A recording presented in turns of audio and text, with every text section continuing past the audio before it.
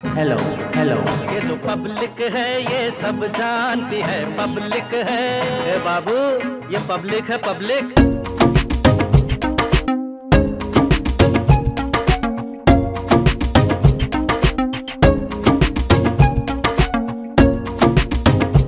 MCD में इस बार मुद्दे कई हैं लेकिन जनता उन्हीं को वोट देगी जो इन मुद्दों को समझेगा और लोगों की समस्याओं को सुलझाएगा। इसी को जानने के लिए मैं आप पहुँची हूँ पटेल नगर विधानसभा के बलजीत नगर वार्ड नंबर 88 में। यहाँ आज लोगों से जानेंगे कि यहाँ के लोगों की क्या समस्याएँ हैं और किन को वो इस बार वोट दे सकते हैं। समस्या तो यही है कि देखते हैं, रोड घाट टूटा पड़ा है और जो है मेन बात है जिसमें सीवर वगैरह सीवर नहीं डला है, पानी टाइम से नहीं आता है। हाँ जो पानी आता है वो भी गंदा पानी आता है। बहुत लोग परेशान बहुत परेशान है। बरसात में यहाँ पर पानी भर जाता है पूरा जो निकलना मुश्किल हो जाता है। ये रेड लाइट पे खड़े हो जाए आप वहाँ सामने पूरा धूल इतनी उड़ती है डस्ट पार्टिकल पैसे खा करके रोड पे जो है सीमेंट बदरपुर रेता सारा सड़क पे डाला जाता है। उसकी वजह से क्या है कि जितनी गाड़ियाँ वहाँ से उड़ती हैं डस्ट पार्टिकल इतना हमारे एरिया में सबसे ज़्यादा है बहुत ज़्यादा डस्ट पार्टिकल है। पोल्यूशन है ऑब्वियसली पोल्यूशन है। और शादीपुर तो इतना बदनाम हो चुका है कि पोल्यूशन में नंबर वन रहता है हमेशा। और एमसीडी वाले अभी गाड़ी आती हैं कचरे की लेकिन रुकती नहीं है।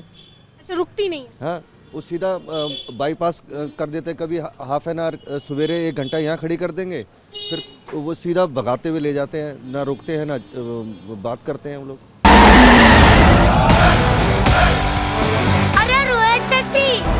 पास्ता को लगाओ Italian tadka. Smith and Jones pasta masala. Very very tasty काफ़ी हद तक ठीक हुआ जैसे सड़कें पहले सीवर यहाँ से पानी भरा रहता था वो ठीक हो गया। है वहाँ पानी नहीं होता बस और बाकी चल रहा है जैसे चल रहा धीरे धीरे ठीक साफ़ सफ़ाई की क्या रहता है? साफ़ सफ़ाई ठीक है।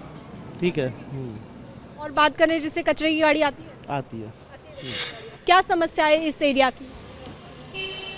वैसे तो ज़्यादा कोई समस्या नहीं है बस थोड़ा बहुत समस्या है।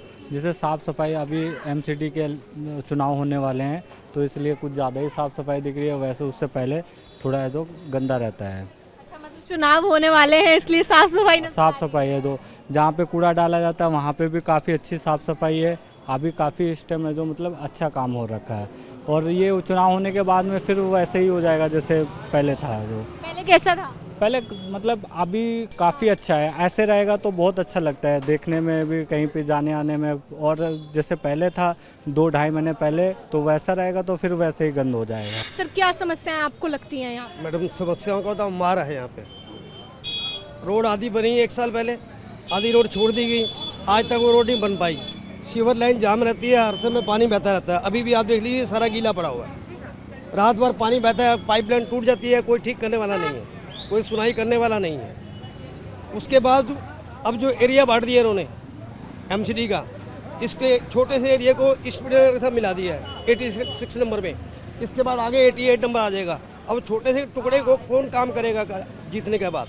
देखो ये पहली बात तो यहाँ पे कोई आता नहीं है। ये तो रोड देख लो क्या हाल है, पाँच साल से ऐसे ही पड़ा हुआ है। जब कोई जिसको ज़रूरत होती है तब आते हैं, अपना थोड़ा बहुत बना के चले जाते वो पीछे तक बना के गया, ये यहाँ से लेके यहाँ तक बिल्कुल नहीं बना हुआ।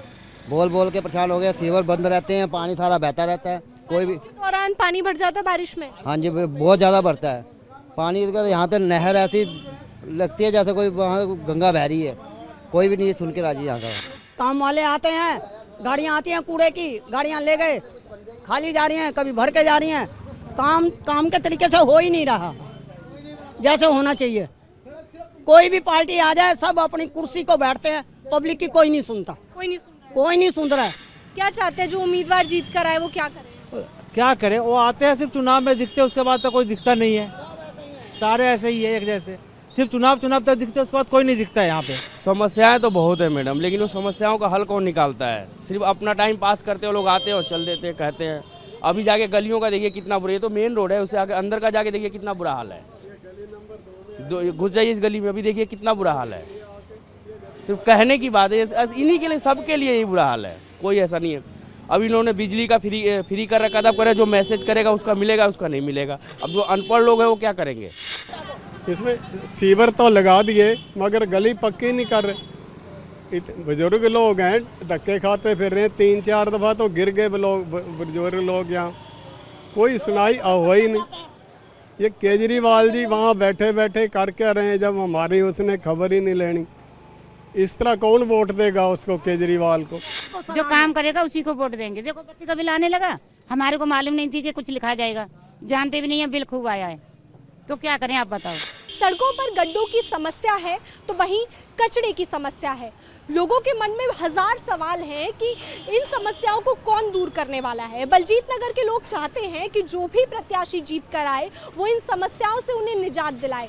सबसे पहले तो साफ़ सफ़ाई का ध्यान रखें, क्योंकि एमसीडी में इस बार का सबसे बड़ा मुद्दा कचरा बन गया है। तो ऐसे में देखना दिलचस्प होगा कि बलजीत नगर की जनता किसको चुनती है। कैमरा पर्सन प्रवीण के साथ श्रुतिका दिल्ली इंडिया टीवी